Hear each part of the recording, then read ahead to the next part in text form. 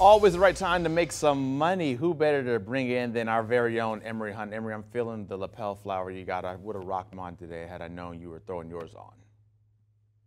well, listen, man, it's, it's, they, they call it red and pink, but I call it vermilion and white, especially coming off the beat down from Marshall. So that's all it is. okay, I got you. We'll, we'll get in the same wavelength a little bit later on as we get going to it.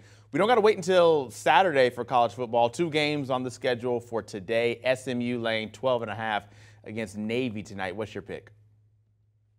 You know, it's going to be hard for SMU to come in and want to play great defense when it's when it's tough for them to stop the run. And that's all you're going to see against Navy. Navy has tightened up the last couple of weeks, and I like the fact that they're playing their best ball at this juncture of the season. So I'm taking Navy and the 12 and a half points. You have to really be disciplined consistently throughout the four quarters of a football game when facing the option attack. And I don't think SMU defensively, especially coming off of two games where they struggle to stop the run, can do that against a midshipman.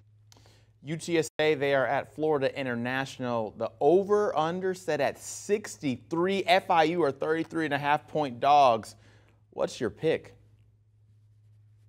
Here, here's the thing. When you look at FIU, they struggle offensively. In their last conference game, uh, Western Kentucky beat them 73 to nothing. So it's possible that UTSA can cover this by themselves or go over this number by themselves. But I'm a little bit more reluctant. I feel like UTSA's defense uh, tends to give a little bit. So I will go under 63. They may end up beating, you know, this this this ball club 62 nothing. You know, FIU really struggles offensively, but I just can't see this number going over. I feel like UTSA will do enough to get the win because they have North Texas next week in the battle for first place in Conference USA. It's been a tough season so far for FIU. Our last one in the college ranks, Princeton and Brown. What are you looking at there? you know, I know Princeton is an Ivy League school, smart program, smart football. Here's some smart numbers. They're only giving up nine points a game 1.9 yards a carry, 5.5 yards to completion. They're yamming guys up defensively like Kojak out there in the mean streets, New York City, with the collar popped up. So I don't see Brown's offense having any success against Princeton's defense. Steve Verbit has been there for 37 years. He's one of the best coaches, defensive coaches in college football.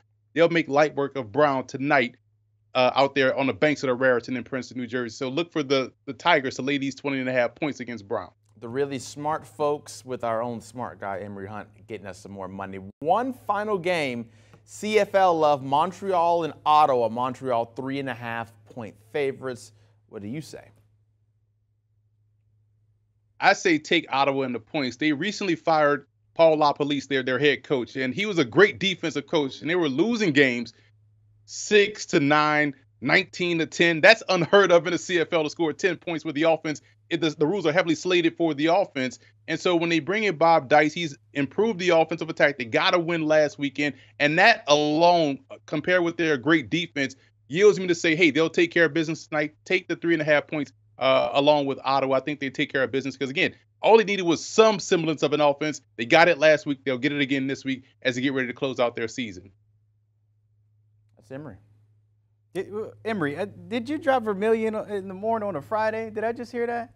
Is that is that what I heard? Yeah, listen, I am well versed. We talk Ivy League football. I introduce you guys to new colors. I'm all well versed in everything over here, man. You guys just learned Vermilion. I heard you over there googling what is Vermilion, and then boom, my picture popped up along with that Raging Cajuns football helmet. Zach, you you can echo this too, but I think a great philosopher, Outkast, said roses really smell like boo boo. Mm-hmm. I'm just saying there. Okay, all right, with the prom suit. Just let me know when, when you need the corsage for your date. You know, just want to know. I'm here to help. I'm here to help all, every Friday for you. I increase the value of the show based off the wardrobe. Mm. You know how many people we get now watching the show because of the wardrobe? Mm, talk you got to take talk. notes, man. Yeah, yeah. Telly uh, lose his uh, his connection next Friday. Every as always, got something to say. Always got something to say. Air Force at UNLV on CBS Sports Network. That is on Saturday, which is tomorrow at 10:30 take a look at uh, you know our finest in the military out on the football field, right around here. Do you want a sports network that delivers everything that matters about the game? The highlights, the picks, the instant analysis, no yelling, no fake debates, no politics. Hit the subscribe button and never miss a moment.